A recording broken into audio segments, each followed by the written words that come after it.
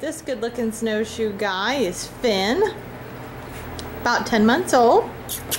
See, he's got some little um, chaps there on the back of his feet. Cute as can be. He's really friendly.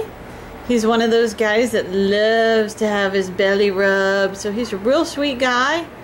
Um, he's been here a couple of weeks, so still getting to know his personality a little bit, but uh, seems to have very good manners. He's good with other kitties. Uh, he has a friend that he came in with from one of our area shelters. Her name is Fancy, and they were just cuddled up together on one of the cat trees. And he's just a real sweet guy, loves attention. He's uh, actually standing on the roof of our uh, of our cabin here in the Wild West. Let me back up a little bit so you can kind of so you can see the cabin. We made a few more changes to the Wild West, so we actually have a mini ranch in the Wild West, and there's Finn staking out his territory on top. Real friendly guy. Um, Again, loves to have his belly rubbed, 10 months old.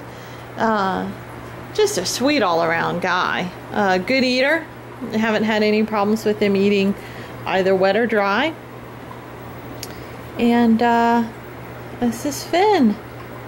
Let's see if he'll see if we can get another shot of his little chaps or uh, pants back here on his rear end for you because they're kind of cute. Let's see. Oh, he's going to be a little bit. There we go. There we go.